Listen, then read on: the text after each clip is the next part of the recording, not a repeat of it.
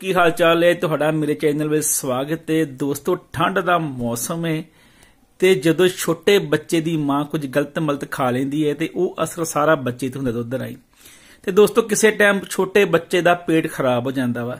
ਤੇ ਮੈਂ ਤੁਹਾਨੂੰ ਅੱਜ ਇੱਕ ਨੁਸਖਾ ਦੱਸੂਗਾ ਕਿ ਤੁਸੀਂ ਬਿਨਾਂ ਦਵਾਈ ਤੋਂ ਬੱਚੇ ਦੀ ਪੇਟ ਦੀ ਖਰਾਬੀ ਨੂੰ ਕਿਵੇਂ ਠੀਕ ਕਰ ਸਕਦੇ ਰੇ ਦੋਸਤੋ, ਕਵਾਸੀ ਰੋਟੀ ਪਕਾ ਲੈਣੀ ਹੈ ਥੋੜੀ ਜੀ ਮੋਟੀ ਰੱਖ ਕੇ ਥੋੜੀ ਜੀ ਰੋਟੀ ਰੱਖ ਕੇ, ਮੋਟੀ ਕਵਾਸੀ ਰੋਟੀ ਪਕਾ ਕੇ, ਉਹਦੇ ਨਾਲ ਅੱਧੀ ਕੱਚੀ ਹੋਵੇ, ਅੱਧੀ ਪੱਕੀ ਹੋਵੇ, ਉਹਦੇ ਨਾਲ ਬੱਚੇ ਦੇ ਪੇਟ ਤੇ ਟਕੋਰ ਕਰੋ।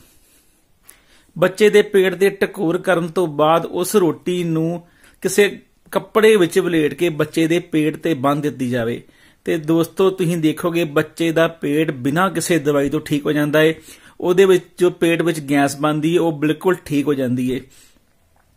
ਤੇ ਦੋਸਤੋ, ਇਹ ਰੋਟੀ ਬੰਨਣ ਨਾਲ ਬੱਚੇ ਦਾ ਪੇਟ ਬਿਲਕੁਲ ਠੀਕ ਰਹਿੰਦਾ ਹੈ ਤੇ ਇਹਦਾ ਕੋਈ ਨੁਕਸਾਨ ਨਹੀਂ ਹੈ ਡਰਨ ਵਾਲੀ ਕੋਈ ਗੱਲ ਨਹੀਂ ਹੈ ਤੇ ਇੱਕ ਵਾਸੀ ਰੋਟੀ ਜਿਹੜੀ ਹੁੰਦੀ ਹੈ ਇਹਦੀ ਟਕੋਰ ਬਹੁਤ ਹੀ ਵਧੀਆ ਹੁੰਦੀ ਹੈ ਤੇ ਇਹਦਾ ਕੋਈ ਡਰ ਜਾਂ ਇਹਦੇ ਕੋਈ ਵੀ ਸਾਈਡ ਇਫੈਕਟ ਨਹੀਂ ਹੁੰਦਾ।